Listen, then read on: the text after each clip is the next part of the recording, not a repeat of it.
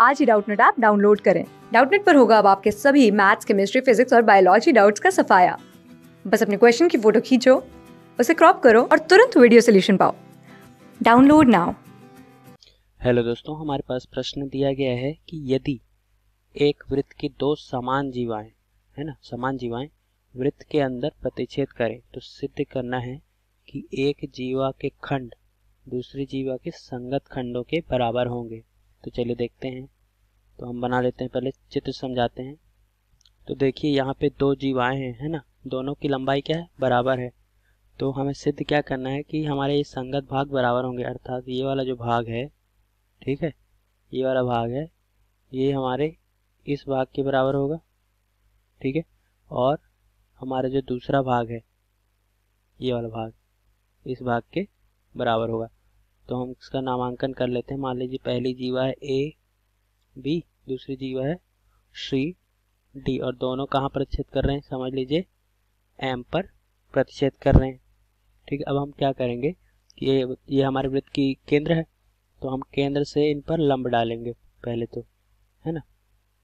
मान लीजिए हमने इन पर लंब डाल लिया ओ पी और ओ क्यू ठीक है, ये लंब है।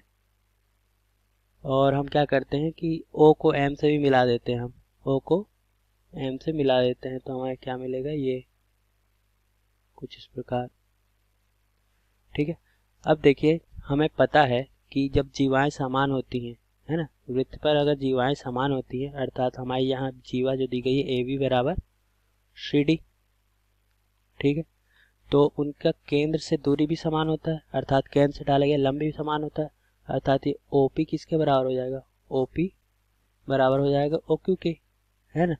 तो ओ पी बराबर हो जाएगा ओ क्यू के अब देखिए, अब हमें अंत में, जैसे कि मैंने चित्र यहाँ पे हाईलाइट करके बता दिया है, अंत में हमें इन्हें ही बराबर करना है।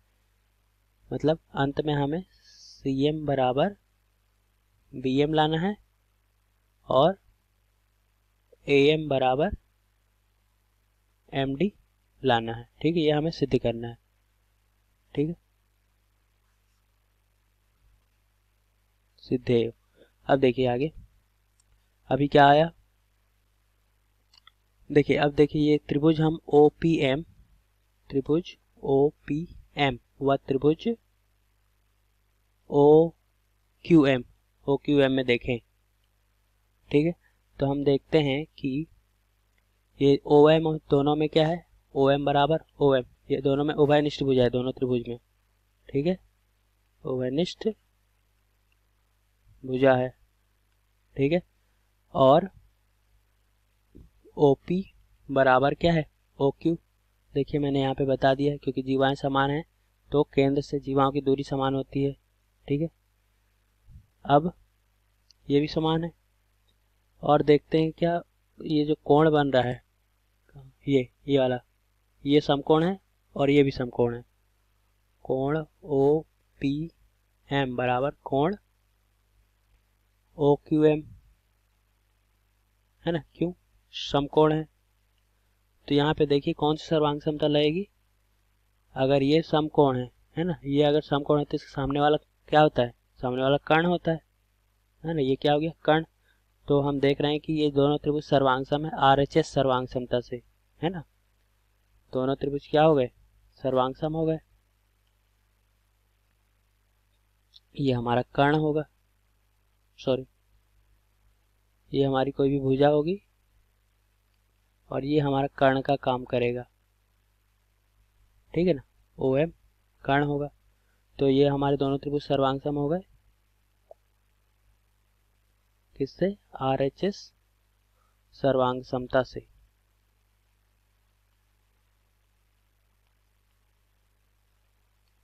अब देखिए, अब दोनों त्रिभुज चूँकि हो गए सर्वांग सम तो इनके संगत भाग भी बराबर होंगे, है ना? तो हम यहाँ से देखिए क्या लेते हैं कि ये पी एम बराबर क्या हो जाएगा? एम क्यू है ना?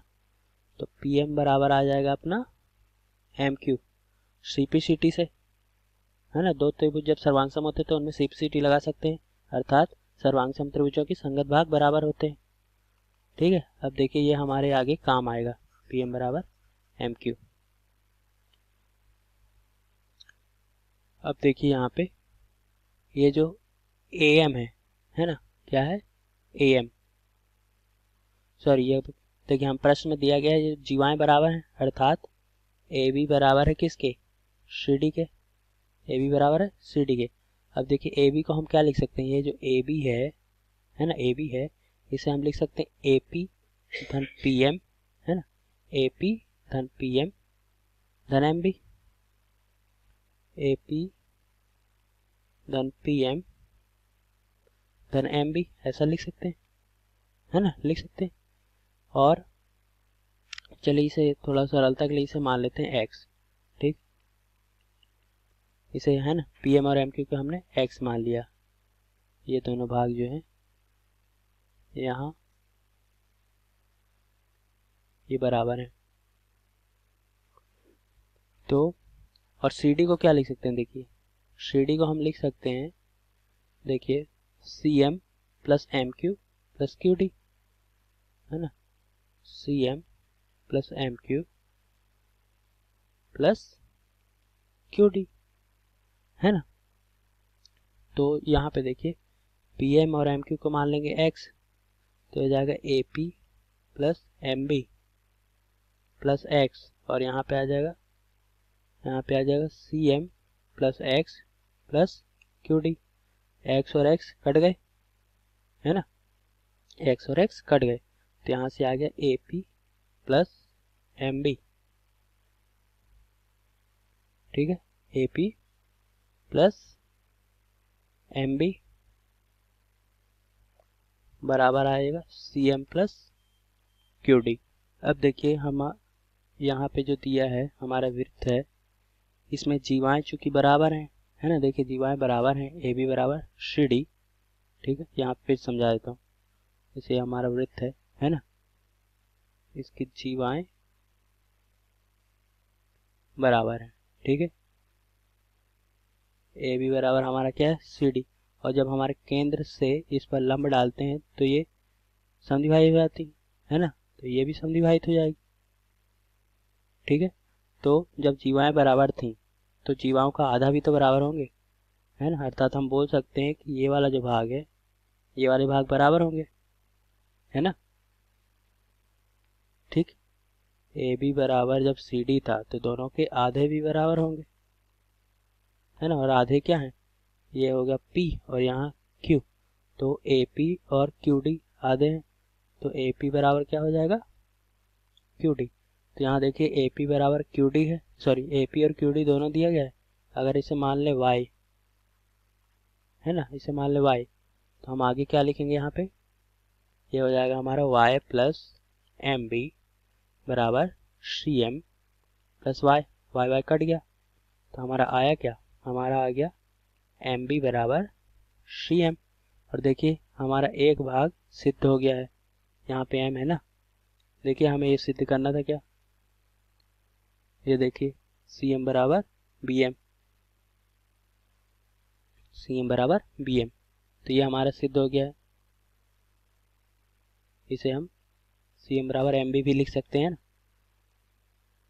तो ये हमारा हो गया सिद्ध। ठीक है? अब आगे एक भाग और, एक संगत भाग तो बराबर हो गए हमारे, है ना? ये वाला संगत भाग तो बराबर हमने सिद्ध कर लिया। अब देखिए, ये वाले संगत भाग भी हम बराबर कर लेंगे। कैसे? देखिए चूँकि जीवाएँ बराबर थी ए बी बराबर सी डी और जीवाएँ मिलकर किससे बनी है? ए बी जो बनी है, ये बनी है हमारी A P sorry A P नहीं। यहाँ पे क्या था? ये देखिए जो ए बी है है ना? ए बी इसे हम बोल सकते हैं A M plus M B है ना? A M plus M B बोल सकते हैं।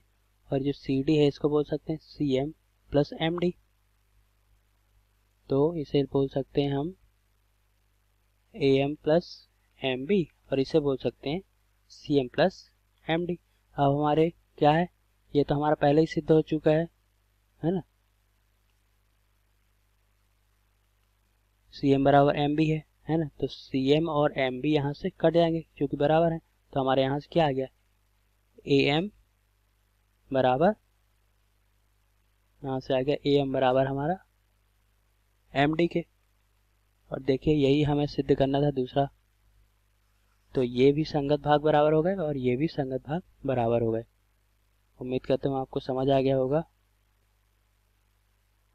ये देखिए ए एम और एम डी बराबर हो गए।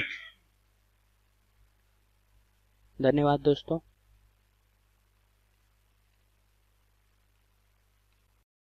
क्लास सिक्स से ट्वेल्थ से लेके NEET I I T JEE mains और एडवांस के लेवल तक। दस मिलियन से ज़्यादा स्टूडेंट्स का भरोसा। आज ही डाउनलोड करें डाउट नेट आप या व्हाट्सअप कीजिए अपने डाउट्स आठ चार सौ चार सौ चार सौ पर।